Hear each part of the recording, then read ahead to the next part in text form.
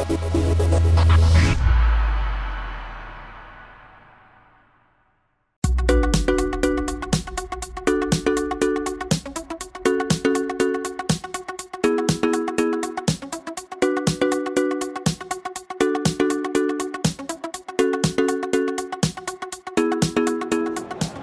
organiseert elk jaar een bijeenkomst speciaal voor ontwikkelaars, Google I.O.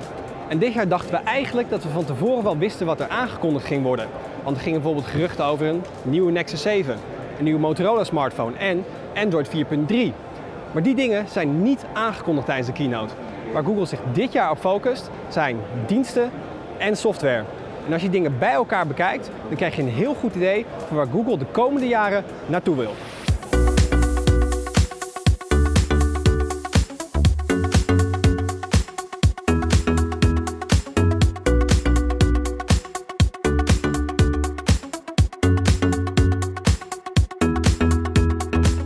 Van de diensten die Google vernieuwd heeft is Google Maps. Ze hebben eerst het hele uiterlijk aangepast. Daar ga ik zo eventjes op in. Maar ze willen het vooral veel socialer maken. Ze willen mensen gepersonaliseerde resultaten geven als ze Google Maps gebruiken. Hoe doen ze dat nou? Door te integreren met Google+. Dat is echt waar het hier om draait dit jaar. Ze willen al die diensten met elkaar gaan integreren. Als jij dus dingen opzoekt op Maps, dan krijg jij een eigen resultaat. Dat resultaat verschilt van dat van een andere persoon. En dat baseert hij dus op wat je doet op Google+, wat je, wat je daar geüpload hebt, wat je daar geliked hebt, wat voor Google zoekopdrachten je hebt gedaan en wat je vrienden op Google Plus allemaal gedaan hebben.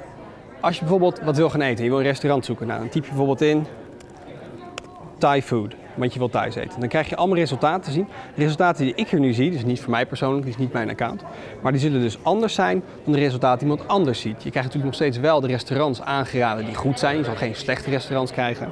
Maar als er meerdere goede restaurants zijn, dan gaat Google dus kijken aan de hand van al die informatie welke het beste bij jou past. Nou, je kan natuurlijk aan de linkerkant gewoon het adres te zien. Je kan recensies kijken. Ze hebben trouwens de schaal aangepast. Google gebruikt altijd een 30 punt schaal. Heel raar eigenlijk, die kom je nergens tegen. Het is altijd of 10 punten of 5 punten. Nou, ze zijn nu gelukkig naar een 5 punt schaal gegaan. Dus dat spreekt veel meer tot de verbeelding. Ik krijg bij dit specifieke restaurant te zien dat ene Charles Noling dit 4 sterren heeft gegeven. En waar wordt hij nou aangeraden? Omdat hij twee plekken beoordeeld heeft, die ik dan ook weer beoordeeld heb. Dus zo kijkt Google, hey, jullie komen op dezelfde plekken. Dus als deze persoon dit goed vindt, dan is dat interessante informatie voor jou.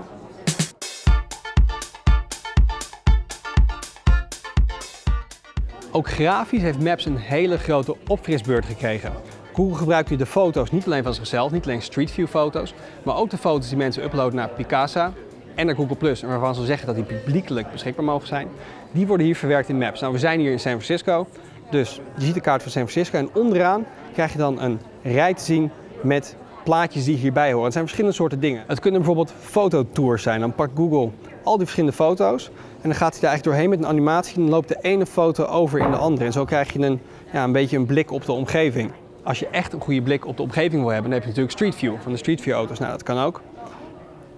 Die biedt Google ook aan. En dan kun je, nou dit is dus gelukkig een touchscreen, dan kun je heel makkelijk de omgeving verkennen. Als mensen zelf panorama's uploaden, kan je er ook bij. Je kunt ook bijvoorbeeld fotosfeers bekijken. Dat zijn die dingen die Google met de vorige versie van Android geïntroduceerd heeft. Dan kan je een soort 360 graden panorama's maken. Google heeft ook wat functionaliteit die eerst alleen in Google Earth zat, nu geïntegreerd in Google Maps. En daar gebruiken ze WebGL voor. Dat is eigenlijk een manier om OpenGL, dus een videokaart API, aan te spreken via de browser. En dan kun je mooie 3D graphics gebruiken. Als je bijvoorbeeld inzoomt hier helemaal op San Francisco, dan zie je dat het niet plat is, maar dat het gewoon allemaal 3D-gebouwen zijn. En dan kan ik de view wat kantelen. En dan zie je eigenlijk die hele stad voor je verschijnen in 3D. Dus als je nog nooit naar een stad geweest bent en je wil weten hoe die stad er ongeveer uitziet en hoe daar je weg moet vinden, dan kan je met de nieuwe versie van Maps een 3D-weergave kijken. Dan kan je via al die foto's onderaan ook nog eens kijken echt hoe het er op foto's uitziet. Je kan via de panorama's rondkijken. Nou, en met Street View is eigenlijk hetzelfde. Het werkt alleen natuurlijk wel alleen voor grote steden. En dat is wel een beetje jammer. Het is een hele mooie feature. Uh, als het over de hele wereld zo zou werken, zou het helemaal tof zijn. Maar het is wel beperkt tot een select aantal plaatsen.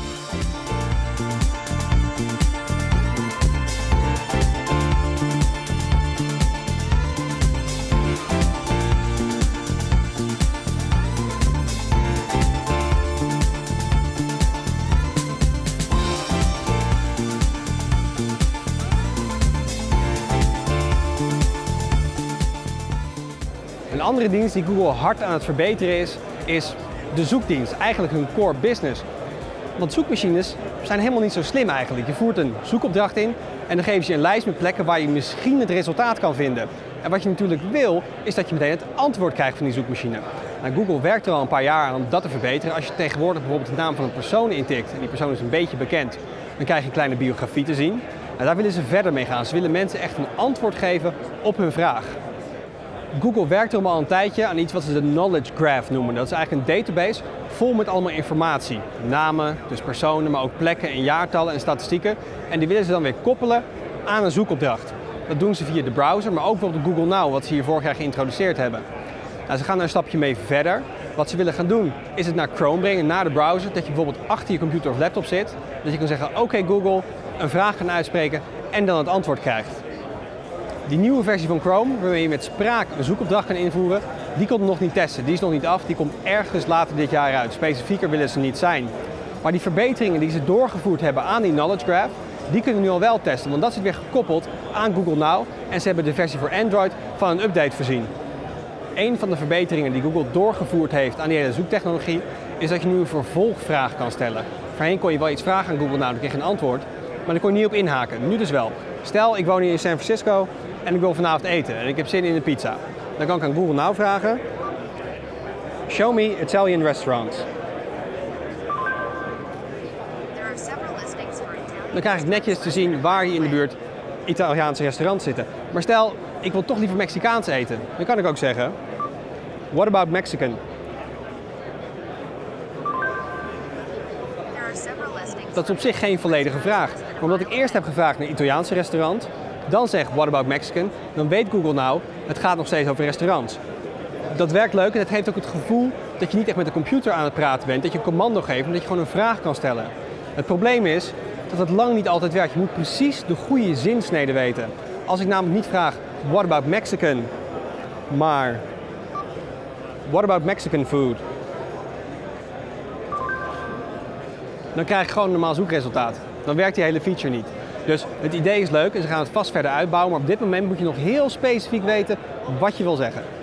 Een andere nieuwe feature van Google Now die niet zozeer met zoeken te maken heeft, maar wel met spraakbesturing, is het feit dat je nu via spraak een reminder kan instellen, een herinnering. Ik kan bijvoorbeeld tegen Google Now zeggen, remind me to talk to Mark when I'm at work. Google Now die weet waar ik vaak ben, die weet waar mijn werklocatie is en die zegt dus nu, talk to Mark dan kan ik hem instellen.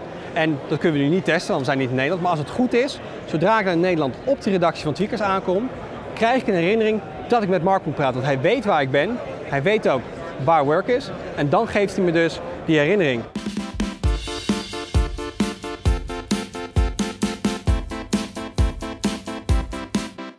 Naast de vernieuwde Maps en nieuwe Google Plus en Google Now en die Knowledge Graph heeft Google ook nog wel wat andere dingen hier aangekondigd. Bijvoorbeeld uh, Google Music, All Access. Dat moet echt een concurrent gaan worden voor Spotify. Dan kun je voor 9,99 dollar onbeperkt streamen.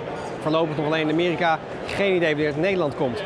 Daarnaast hebben ze ook Hangouts aangekondigd. Dat is een soort samensmelting van alle messagingdiensten die ze tot nu toe hadden. Nou, dat moet natuurlijk een hele goede concurrent voor WhatsApp worden. Maar dat is niet waar dit jaar op I.O. de aandacht naar uitgaat. De aandacht hier gaat toch echt uit, die legt Google op Google+, de integratie met Maps, met die knowledge base en Google Now. Het hele overkoepelende idee dat de informatie die jij aan Google geeft, die jij deelt met Google, dat die gebruikt wordt om zoekresultaten voor jou beter te maken. Om jou beter te kunnen bedienen met die zoekresultaten. Om relevantere dingen op Maps te laten zien. Geef jij Google al die informatie, laat je bijvoorbeeld via je telefoon bijhouden waar je vaak bent, waar je huis is, waar je werk is, wat je patronen zijn, dan kan Google daar heel erg veel toffe dingen mee doen. Dan kunnen ze die zoekfunctie echt beter maken. Ze werken hier echt aan het zoeken, de search van de toekomst. En dat maakt je toch best enthousiast als je dit hier ziet. Je moet alleen wel bereid zijn om al die informatie te geven en ook accepteren dat ze dat ook gewoon gaan gebruiken om geld mee te verdienen. Het toekomstbeeld dat Google hier op I.O. schetst, dat ze ergens in de komende jaren misschien geen zoekmachine meer zijn, maar een resultatenmachine, dat is erg indrukwekkend. Maar ondanks dat ze het allemaal gratis aanbieden, is nog wel de vraag wat het de gebruiker uiteindelijk zal gaan kosten.